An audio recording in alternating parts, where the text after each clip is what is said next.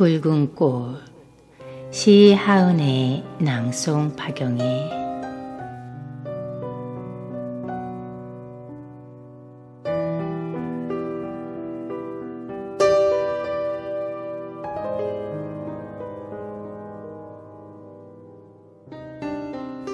좋은 계절 다 놔두고 하필 해가 짧은 늦겨울에 추억처럼 찾아간 알람브라 궁전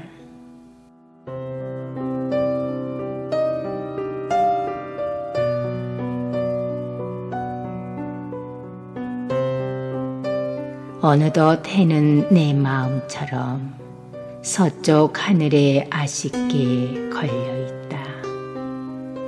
마치 화려했던 마지막 왕조의 비운을 말해주듯이.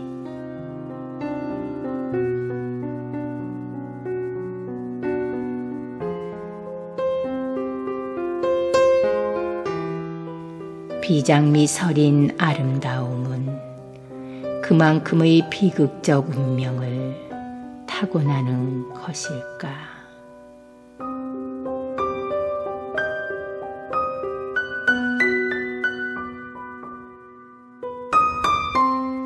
해낼 날잎의 정원의 물방울은 타레가의 연주 선율에 아프게 부서져 내리고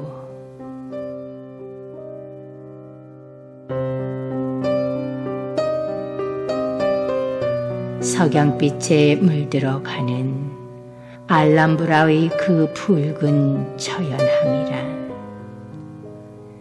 곁에 선 나도 붉게 물들어 한동안 그 자리를 떠나지 못